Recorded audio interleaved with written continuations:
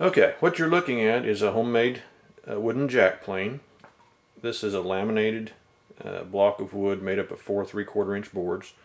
I didn't have any uh, thicker lumber at the time and this was designed to be a prototype to kind of work out the kinks of making a plane. Uh, fully intended for it to end up in the scrap pile when I was done, but as I played with it more and more, I found that it actually worked quite well. And uh, I went ahead and made a nice handle for it and uh, a nice striking button out of lignum. And it, uh, it works pretty well. So I'll do a little demonstration here so you can see it cut. And we'll take it apart and look at it a little closer. Got a piece of cherry here and I've got it set for a fairly light cut. The mouth opening is actually very wide. This is a jack plane. It's made for heavy material removal. Uh, but I can set it for a light cut and on a mild grained wood it'll actually take very nice feathery shavings.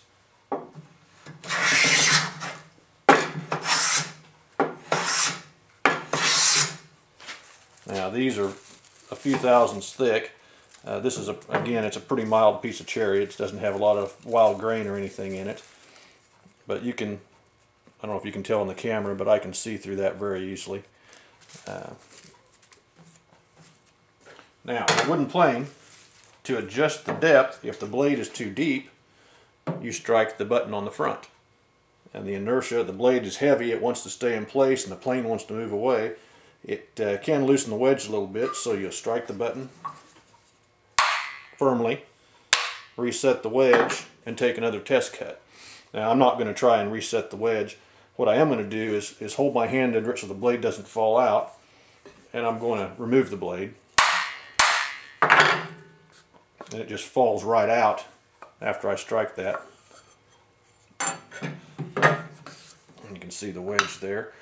Uh, this blade is A2 tool steel. Uh, I just bought some uh, bar stock tool steel, two inches wide, 3 16ths thick, and uh, cut it to just a, a traditional shape and heat treated it myself. And it's actually turned out to be a very good blade. Uh, the only mistake I made was I sanded it with 100 grit sandpaper before I heat treated it. I should have gone to maybe 600 or, or higher so it would have a smoother finish and take less polishing on the stones to, to flatten the back.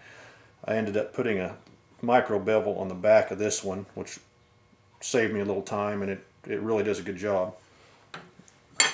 This is a traditional style wedge. Uh, it sits right on top of the blade like this and with this ramp it allows the chips to escape.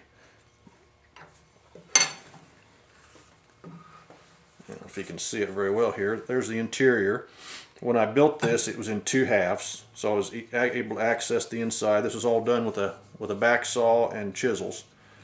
Um, I flattened the bottom with a with a traditional plane float that I also made,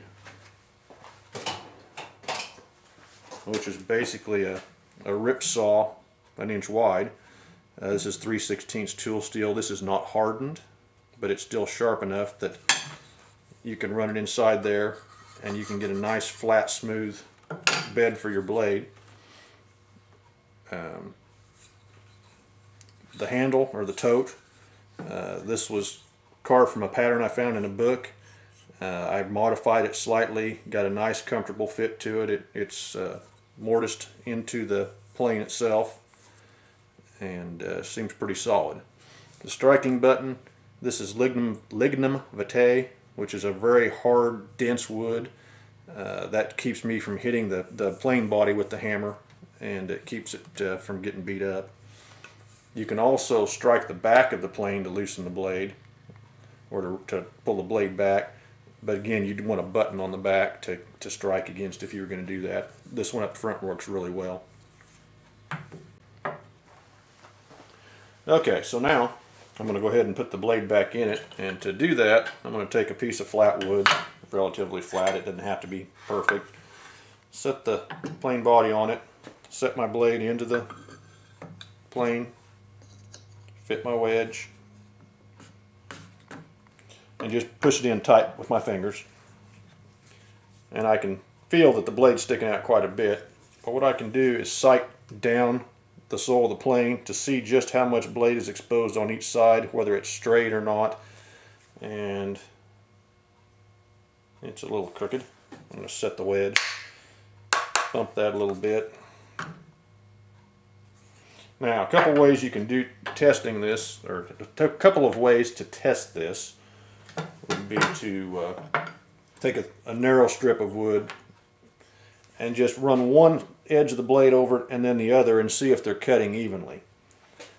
In this case, I'm not hitting anything hardly on that side or that side. All right, so I'm not really touching. So I'm going to set the blade a little bit deeper. I'm going to tap it with a hammer. Set the wedge again, just in case it loosened up. Try it again. Okay, left side just took a little bit of a cut. Right side's a little heavier. We'll see what it does down the center. Nice little fluffy shaving. We'll go on to a larger board here.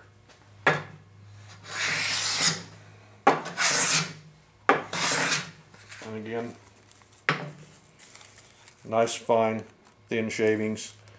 Um, generally a jack plane is used for flattening, doing heavy material removal, uh, not the light cuts that I'm taking here, but uh, it's kind of fun to see it take a nice fine shaving, uh, even with a, a, giant wide mouth opening and, and kind of a really cobbled together plane body, if you think of it that way. It's uh, Traditionally, these would have been one solid piece of wood. All the interior parts would be cut out by hand, chisels and saws, and uh, pretty pretty labor intensive. Uh, by doing this one, you know, spread open like a book in two halves, it was a lot easier, but still a little bit of a challenge if you'd never done it before. Uh, learned a few things on this one. I plan to make some more.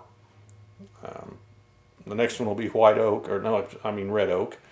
Um, and it'll be two solid halves. It won't be built out of four laminated pieces. Each half will be one solid piece.